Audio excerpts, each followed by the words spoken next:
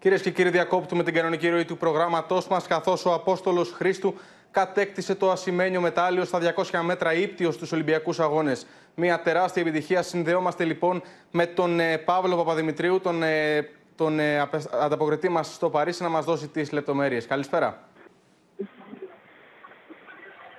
Καλησπέρα σας από το Παρίσι. Είναι πολύ μεγάλες στιγμές για τον ελληνικό αθλητισμό πρώτο μετάλλιο ε, στην ε, ιστορία μας για ε, την κολύμβηση σε Ολυμπιακούς Αγώνες από τον Απόστολο Χρήστου, από έναν άνθρωπο ο οποίος αποφάσισε την τελευταία στιγμή να πέσει στο αγώνισμα καθώς είχε δηλώσει ότι θα το σκεπτόταν μετά από την απώλεια του χάλκινου μεταλλίου που είναι και το καλό του αγώνισμα παρακαλώ στα 100 μέτρα. ε, πήρε την απόφαση, έπεσε στα 200 μέτρα, κατέκτησε τη δεύτερη θέση στον τελικό πίσω από τον Ούγκρο των 200 ε, μέτρων ε, ύπτιο ε, στην ε, κατάμεση αρένα στο Παρίσι. Ο χρόνος του είναι 1.54.82.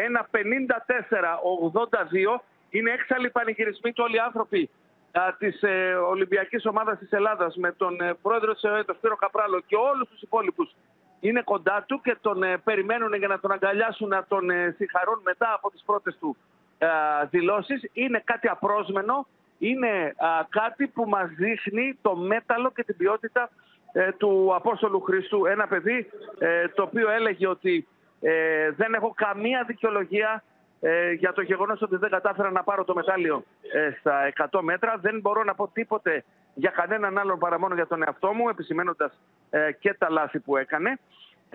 Και έχω την αίσθηση ότι αυτό το μετάλλιο θα είναι ε, που έρχεται σε συνέχεια του χάλκινου μεταλλίου ε, στο τζούντο που πήραμε για τον Τζελίδη, ακόμη ένας κρίκος σε αυτά που έρχονται και σε αυτά που περιμένουμε εδώ στο Παρίσι. Ο Χρήστος, ο οποίος ε, είναι ε, ένας... Ε, ε, να πω ότι το, ο χρόνος του Ούγκρου του, που πήρε το χρυσό μετάλλιο είναι στο 1.54-26.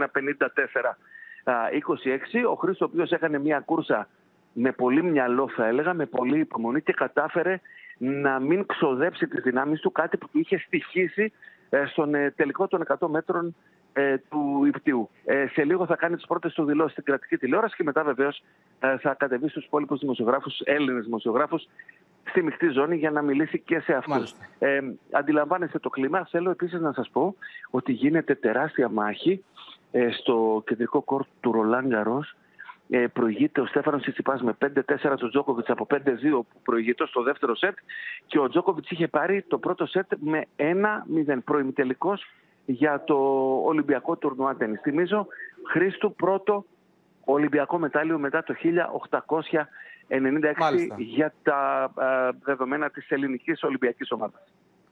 Σε ευχαριστούμε πολύ. Τεράστια επιτυχία λοιπόν για την Ελλάδα. Κυρίες και κύριοι, εμείς ε, θα σας αποχαιρετήσουμε για οτιδήποτε νεότερο. Θα, θα συνδεθούμε και πάλι για να σας ενημερώσουμε. Καλό βράδυ.